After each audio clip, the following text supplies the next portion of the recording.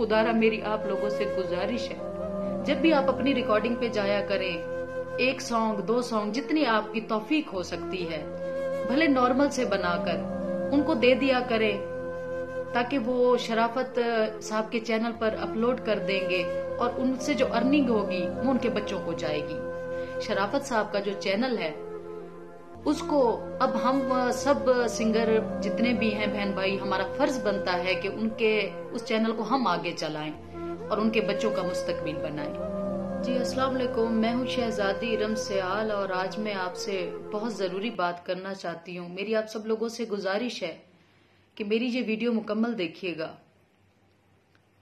कल जो मियाँ वाली में कयामत बर्पा हुई, उसका मंजर आप सब लोगों ने भी अपनी आँखों से देखा। और मैंने भी देखा। आप लोगों ने तो सिर्फ़ शायद बाहर का मंजर देखा है। उनके घर का मंजर मैंने देखा है अपनी आँखों से, उनकी वालदा की हालत, उनकी फैमिली की हालत। आप मुझे बताइए कि जिस एक घर में से सात जनाजे निकले, उस घर में कयामत नहीं होगी तो और क्या होगी? मैं बात कर रही हूँ शराफत अली खान साहब की और अनवार अली खान साहब की। जो कि हमारे पाकिस्तान के, हमारे सराकी बेड के सुपरस्टार थे। उन जैसा ना तो कोई अच्छा इंसान मैंने देखा जो इतने प्यारी गुफ्तगु करता हो और इतनी इज़्ज़त एहतराम से बोलता हो। हम सब सिंगर्स आपस में मिलते रहते हैं, एक दूसरे के घर आते जाते रहते हैं, सब कुछ। लेकिन वो इंसान ऐसा शर्म हया वाला था, वो कभी औरत की आँख पे आँख डालकर बात नहीं करता था। हमेशा आँखें झुकाकर बात करता था। मगर कल जो मैंने देखा मंजर, वो कयामत से कम नहीं था। मैं सबसे पहले तो शुक्रगुजार हूँ उनकी फैमिली की और उनके खानदान की कि तीन बजे उनका कल जनाजा था और मुझे देर से पता चला और मैं लेट हो गई जनाजे पर। उन्होंने तीन बजे मैंने उन्हें कहा, आप जनाजा पढ़वा दें। तो मैं बाद में पहुंचूँगी। मगर उनका एहसान है मुझ पर ज़िंदगी भर का कि उन लोगों ने जनाजा पढ़वा कर उन्होंने कब्रिस्तान में शराफत अली साहब को और अनवार अली साहब को मेरी खातिर रोके रखा। सिर्फ़ इस वजह से कि शराफत और अनवार इरम सयाल की खुद इतनी इज़्ज़त करते थे। अगर वो इतने सफ़र से आ रही है तो हमारा भी हक बनता है कि आखिरी मुँह वो ज़रूर देखे। तो मैं उनकी शुक्रगुजार हूँ, उनके घर वालों की भी और उनके खानदान वालों की भी। कि मैं डेढ़ घंटा लेट पहुँची और जब मैं कब्रिस्तान में पहुँची, वो मंजर नाकाबले बर्दाश्त था मुझसे, क्योंकि मैं डिप्रेशन की मरीज़ हूँ। जब से मेरे वालिद फौत हुए हैं, मेरा डिप्रेशन का कोर्स चल रहा है और मैं डिप्रेशन में हूँ और डॉक्टर ने सख्ती से मना किया है किसी भी परेशानी को मेरे घर वालों को मुझे बताने का या किसी भी ऐसे हादसे में जाने का, सख्ती से मना किया है। लेकिन आप यकीन करें कि जब मैं, मेरे घर वालों ने इसी वजह से मुझे नहीं जगाया कि मतलब हम जगाएँगे और बताएँगे तो अल्लाह ना करे कोई हादसा पेश आ जाए। तो मैं जब उठी तो मुझे जब ये पता चला तो मैंने कहा, नहीं, मुझे जाना है, अभी जाना है, अभी जाना है। और मैं वहाँ पहुँची और मैं डेढ़ घंटा लेट हुई और उन लोगों ने मेरे इंतज़ार में रखा। उन सब की मैं एहसान मंद हूँ। और दूसरे नंबर पे शराफत अली खान साहब, जितने अच्छे इंसान थे, वो तो मैं लफ्जों में बयान नहीं कर सकती, और उनके जो जाने की तकलीफ़ जो है, वो भी मैं लफ्जों में बयान नहीं कर सकती। आप ये देख लें कि मुझे डॉक्टर्स के मना करने के बावजूद भी, वो मेरे लिए इतने काबिल एहतराम थे कि मैं उनके मैयत पर ज़रूर पहुँची हूँ। और मैं उम्मीद करती हूँ, वज़ीर अला पंजाब से, मोहसिन नकवी साहब से कि हमारी उम्मीद पर पूरा उतरेंगे और उनके बच्चों के लिए कुछ सोचेंगे। क्योंकि शराफत अली खान साहब का एक बेटा है, जो कि छोटा है नौ दस साल का है। और बड़ी बेटी, कोई तेरह एक साल की है। बाकी बच्चे छोटे हैं, तीन बेटियाँ हैं और एक बेटा है। और अनवार का भी एक ही बेटा है। बाकी बेटी है। उनके साथ जो मौजूद लोग थे, वो भी सब इंतहाई गरीब लोग थे। तो मैं हुकूमत से दरखास्त करती हूँ कि खुदारा हम फनकारों के लिए कुछ सोचा जाए। ज़िंदगी का पता नहीं होता। हमारे लिए कुछ ऐसा बनाया जाए कि अगर जो सिंगर के बच्चे जवान हों और पढ़े लिखे हों तो उनको नौकरियाँ दी जाएँ। अगर वो इस नौकरी नौकरी के काबिल हैं, पढ़े लिखे हैं तो।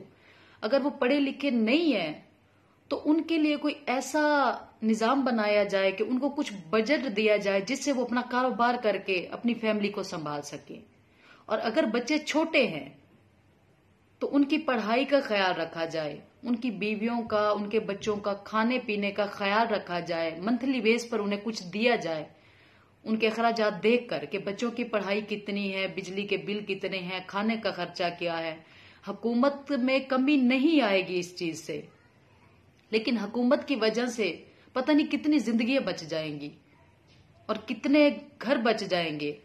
मुझे इंतहाई अफसोस है ये बात मैं कहते हुए मुझे शर्म आती है कि हमारे इतने पाकिस्तान के बड़े खूबसूरत नौजवान असद, जो पिछले दिनों में ही जिनकी डेथ हुई, गुर्दों के मर्ज में जो मुबतला थे, हमारी गवर्नमेंट ने तवज्जो नहीं दी, हमारी गवर्नमेंट ने नहीं कहा, कुछ भी नहीं उनका ख्याल रखा, क्या हो जाता अगर कुछ पैसा उनके ऊपर लगा देते तो एक जान बच जाती, बच्चे यतीम होने से बच जाते, वो भी कुछ नहीं हुआ। और अब भी मैं गुजारिश करती हूँ कि खुदा के लिए कुछ किया जाए ताकि उसके बच्चों की ज़िंदगी बन सके, शराफत साहब के और अनवार साहब के बच्चों की ज़िंदगी बन सके, उनकी बीवी इज़्ज़त से ज़िंदगी गुजार सके। जब सरों से छत हट जाती है ना तो इस नीलाम होने पर आ जाती है। तो खुदारा मेरी आप लोगों से गुजारिश है, हुकूमत से कि खुदा के लिए उनके बच्चों का ख्याल रखा जाए, ताकि किसी भी बहन बेटी की इज़्ज़त नीलाम ना हो सिर्फ़ इस वजह से कि उसने अपने बच्चों को पालना है। अगर आप हकूमत वाले, आप गवर्नमेंट वाले थोड़ा सा ख्याल रख लेंगे तो ऐसी हज़ारों ज़िंदगी बच सकती है।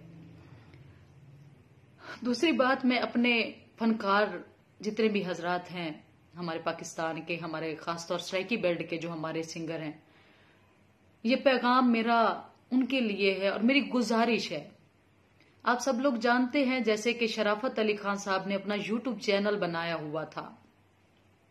और उससे उनको अर्निंग भी हो रही थी। शो भी कर रहे थे और अपने बच्चों का गुजर बसर कर रहे थे।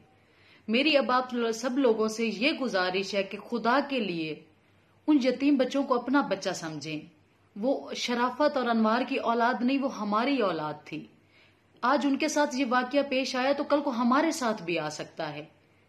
मेरी आप सब लोगों से इतनी गुजारिश है कि आप सब लोग उनका यूट्यूब चैनल ऑलरेडी है पड़ा आप लोग सिर्फ़ इतना कर दिया करें कि जब आप अपनी रिकॉर्डिंग पे जाया करें, मैं खुद भी इस काम की शुरुआत करूँगी।